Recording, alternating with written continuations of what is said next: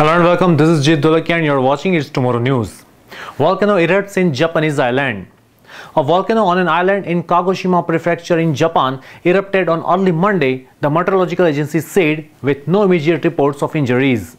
Pyroclastic flows were observed there for the first time since January 29 last year, reached around 900 meters southwest of the crater, while ash and smoke rose to an altitude of some 7000 meters after the eruption of Mount Shindake in Kuchinoerabu Island, according to the agency. According to the JMA, the eruption, which occurred at around 5.30 in the morning, emitted volcanic fumes that reached a height of about 7,000 meters above the crater.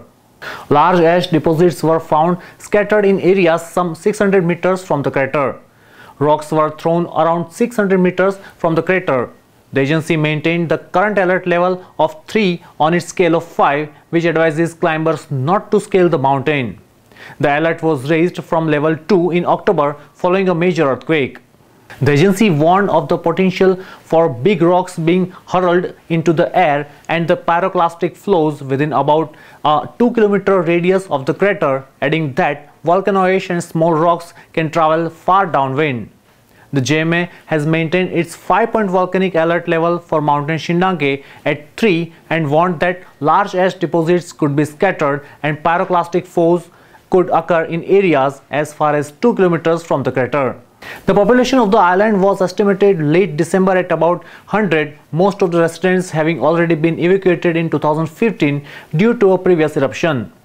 In May 2015, all 137 islanders were evacuated in Yakushima Island, some 12 kilometers to the east following explosive eruptions from the volcano. The majority returned by June 2016 when evacuation orders had been lifted for all areas on the island. That's all for now. For more news updates, stay tuned with us. It's Tomorrow News, Jeet Dolakia. For more weather updates like this, please subscribe to our channel.